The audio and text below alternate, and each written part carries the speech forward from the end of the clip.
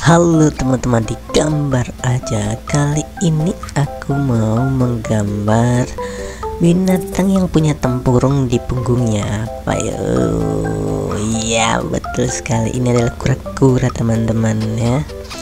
Nah ini aku sedang membuat kakinya teman-teman ya. Terus kita buat bagian bawah tubuhnya Lalu kita buat lagi kakinya dan juga buat ekornya. Oke. Ini gue sekarang buat matanya teman-teman. Nah seperti ini. Lanjut. Sekarang kita buat corak di tempurungnya ya. Seperti bola teman-teman. Segi lima atau segi berapa nih? Segi empat ya. Dari segi lima tapi dipotong teman-teman ya jadi seperti itu lalu kita buat kukunya. Wah keren kan teman-teman?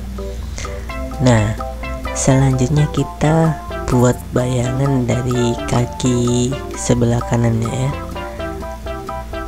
Selanjutnya kita buat tumbuhan yang dimakan oleh kura-kura. Di sini aku pakai daun ya daun yang dimakan kura-kura seperti ini sehelai daun ya seperti ini. Kita buat tulang-tulang daunnya. Selanjutnya kita buat tanah atau pasir tempat kura-kura berdiri. Ya seperti ini. Dibuat seperti gunung aja. Dan kita buat semak-semak atau tumbuhan ya. Nah seperti ini ya teman-teman. Gampang sekali ini cocok buat teman-teman yang masih paut atau TK untuk menggambar binatang kura-kura ya. Selanjutnya kita akan mewarnai. Nah di tempurungnya aku kasih warna oranye teman-teman. Kukunya juga sama. Nah kalau untuk mewarnai ini selera teman-teman ya. Teman-teman bisa mencontoh gambar ini atau buat sendiri warnanya bisa kasih warna biru atau menyesuaikan dengan warna asli kura-kura juga bisa. Nah di sini aku pakai warna oranye tapi ya oke. Biar kelihatan seperti apa kura-kura aslinya ya teman-teman. Uh, walaupun di aslinya itu ada corak-corak coklat putihnya gitu nah ini aku kasih warna oranye agak kecoklatan. Nah. oke kura-kura ini suka makan tumbuhan teman-teman ya. Dan macamnya itu banyak sekali di dunia ini kura-kura itu jenis kura-kura itu. Wah lain kali kita akan menggambar kura-kura dari jenis yang lain. Ini kalau nggak salah kura-kura jenis leopard teman-teman ya selanjutnya kita buat bagian tubuhnya. Kita kasih warna hijau muda teman-teman. Hijau muda ya. Hmm, walaupun sebenarnya ada juga itu tubuh kura-kura itu warna warna agak kecoklatan gitu ya. Warna kulit apa namanya coklat-coklat sawo matang itu kayak manusia juga ada macam-macam. Ada yang kepalanya ada corak-coraknya ya. Ya itu sesuai referensi teman-teman ya. Kura-kura yang mana yang digambar ya.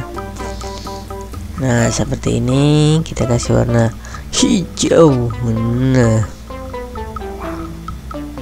ini bagian ekornya. Nah, gampang sekali teman-teman. Nah ini bagian hijau pada daunnya. Aku kasih hijau yang sangat tua ya dibandingkan hijau pada tubuh kura-kura ini ya. Nah selanjutnya tumbuhannya. Kita kasih warna hijau juga hijau hijau tua. Nah, kelihatan cantik ya teman-teman. Aduh, mantap. Ah, agak pilek nih teman-teman. Ya malam ya. Kebagian bangunnya ya. Nah ini warna hijau bagian terakhir adalah pada pasirnya teman-teman. Nah ini pasir putih. Tapi aku kasih warna abu-abu. Oke sereko sereko sereko sereko sereko sereko wah warnanya cantik ya teman-teman. Warna oranye hijau muda hijau dan abu-abu. Perpaduannya sangat cantik sekali ya kan? Oke. Nah ya akhirnya selesai juga teman-teman. Menggambar kura-kura yang lucu dan imut ini ya. Wah. Oke teman-teman ya begitu saja.